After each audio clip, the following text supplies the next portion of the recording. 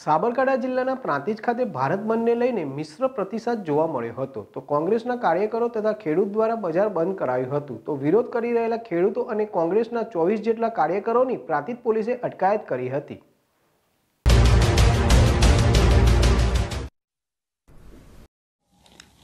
ખેડૂતો દ્વારા આઠ ડિસેમ્બરના રોજ ભારત બંધનું એલાન આપવામાં આવ્યું હતું. તો મિશ્ર પ્રતિસાદ જોવા મળ્યો હતો. તો ખેડૂતો તથા કોંગ્રેસ કાર્યકરો દ્વારા સવારે બજાર બંધ કરાવવા નીકળ્યા હતા. તો વેપારીઓ દ્વારા બજાર બંધ કર્યું હતું. તો ધરતીપુત્ર અનિલ પટેલ માઇક સાથે બજાર બંધ કરાવવા નીકળ્યા હતા. તો પ્રાંતિજ પોલીસ દ્વારા અનિલ પટેલ પાસેથી માઇક પડાવી લીધું હતું.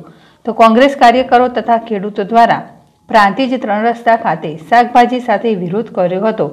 તો પ્રાંતિજ પોલીસ દ્વારા કોંગ્રેસના પ્રાંતિજ તલોદના પૂર્વ ધારાસભ્ય મહેન્દ્રસિંહ બારૈયા સહિત ખેડૂત પુત્ર અનિલ પટેલ, રેખાબેન સોલંકી, નીરુબેન પટેલ, કોંગ્રેસના તાલુકા પ્રમુખ નરેન્દ્રભાઈ પટેલ સહિત ચોવીસ જેટલા કાર્યકરોની અટકાયત કરી હતી. અને હિંમતનગર ખાતે લઈ જવામાં આવ્યા હતા. તો પ્રાંતિજ માર્કેટયાર્ડ ખુલ્લું જોવા મળ્યું હતું. પણ એક પણ વેપારીએ તથા ખેડૂતો માર્કેટયાર્ડ ખાતે ફરક્યા ન હતા. તો પ્રાંતિજ ખાતે ભારત બંધનો મિશ્ર પ્રતિસાદ જોવા મળ્યો હતો. તો પ્રાંતિજ ખાતે પ્રાંતિજ પોલીસનો પક્ષપાત જોવા મળ્યો હતો.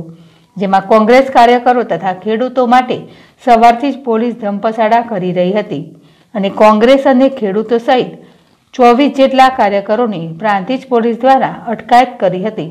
તો બીજી તરફ ભાજપના કેટલાક કાર્યકરો બજાર ખોલાવવા માટે બજારમાં નીકળ્યા હતા.